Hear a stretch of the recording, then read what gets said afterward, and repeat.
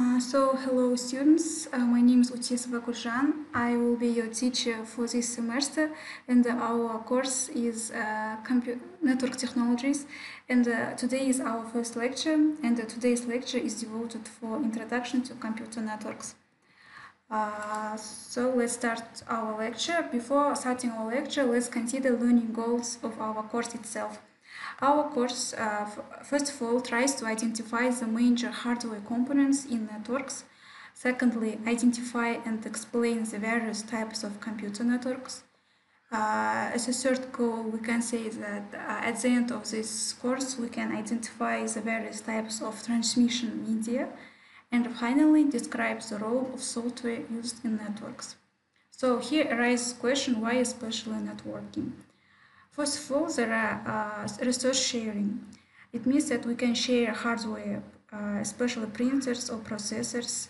And the second uh, is sharing software such as programs or data files. Uh, next advantage of networking is high reliability. Uh, it could set automatic backup of programs and the data at different locations. And secondly, uh, fault tolerance. If one server is down, another provides a service. If a disk fails, a mirror disk may be available. Next advantage of networking is cost saving.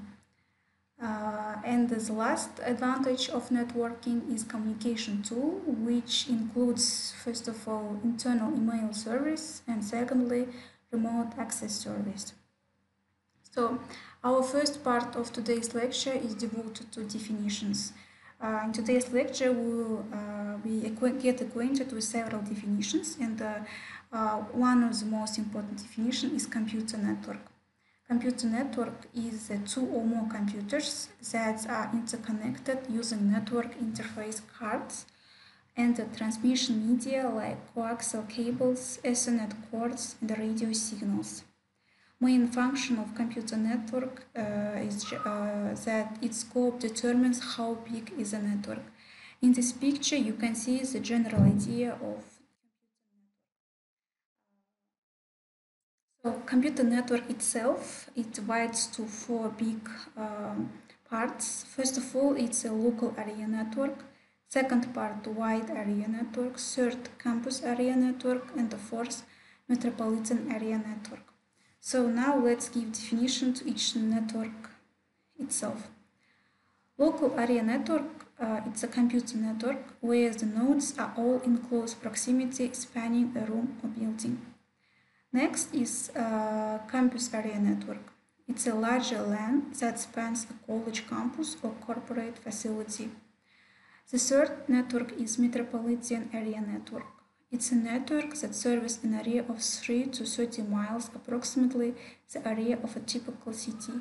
And the last, it's a wide area network, which is a large network that encompasses parts of states, multiple states, countries, and the world itself. Uh, now we can say about transmission media. Actually, transmission media is divided to big, two big parts. First of all, it's physical as you can see from the picture, it's a cables. And the second, it's wires. And um, in the picture, you can see nowadays, for example, use Wi-Fi every day. It can be example of wireless transmission media. So now let's uh, give explain what physical media is. Physical media has three functions. First, it's transmission media used to physically connect nodes to the network. Second function, it transmits electrical or optical signals. The third could be group wire or. In the picture, uh, here is the given the, uh, has illustrated the functions itself and it has we have provided its description. Next, transmission media. Uh, here in the table you can see its use, signal, data rate, uh, distance, and the problem. Um, and uh, the next uh, section is a fiber optic. It has following properties. First, it's thin glass fibers surrounded by coating. Uses laser or light for data transmission. And the last, very fast. It means that it's 100 miles without any repeater. Next part, it's a wireless media. It has several functions, which is the first one. It uses electromagnetic waves or electromagnetic radiation for data transmission. Second function, propagation through space and indirectly through solid objects. And the last, it's two kinds of wireless media used. Examples of wireless media can be radio waves, which is um, affected by multipath interference, highly vulnerable to snooping, limited distance, and blocked by thick objects. Moreover, it has a big drawback, which is its infrared light, because its close proximity and the line of sight location required. In the picture, you can see the function of wireless media and how it works. Uh, next, uh, computing equipment. Computing equipment, it uh, has network interface card, which is a device that provides computer with unique address and converts data into signal for transmission. Next, it's a hub or switch. It is a central collection point for transmission media that interconnect computers. The third is a modem, which converts digital data into analog signal and the back again. Router is a special hardware that determines optimal routing paths for data packets. And its next function is that usually we use to connect a LAN to a wide area network. And the last is a bridge, forwards messages between local area networks. So here in this picture is illustrated small network. Here you can see hub or switch, how media is transmitted using wide area network. So now let's talk about network software. Actually, network software, uh, it has two main functions. First, it's network operating system. This network operating system, um, it's used on servers.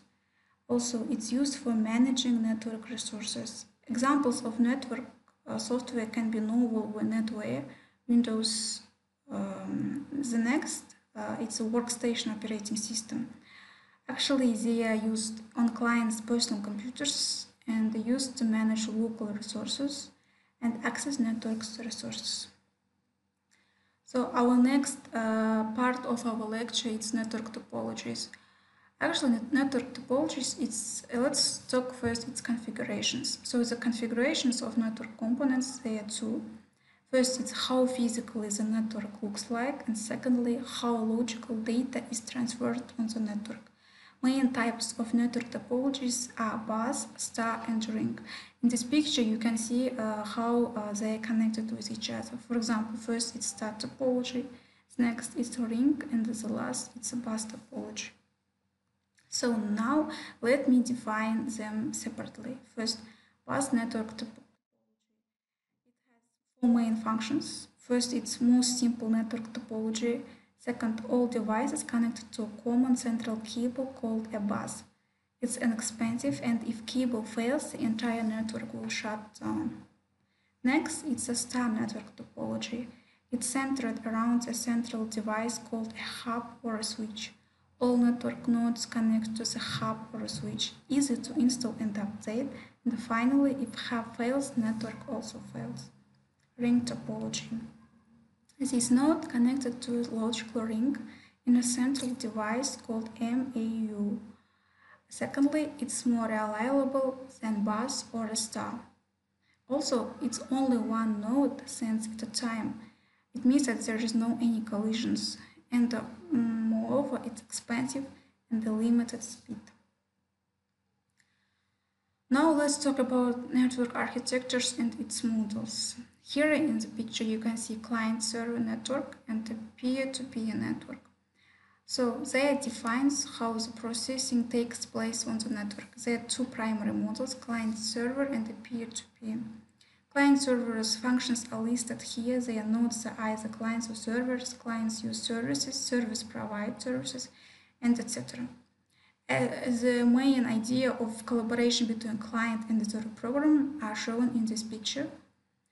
Uh, also, here is in client-server model, it client program handles light work such as use interface, shorts, and the light processing cores. Next is a peer-to-peer model. Here in the picture, you can see that they're standing on the uh, right side, and also any node can be both a client and a server. So now let's talk about summary questions. At the end of a lecture, you should answer to these questions. Um, for example, the first one, name categories of computing networks based on their scope. All answers to these summary questions are uh, and the literature for our course is the following. Aljanov, Information Compu Compu Communication Technologies, Oliver, and the third, Information Communication Technologies. Thank you for your attention.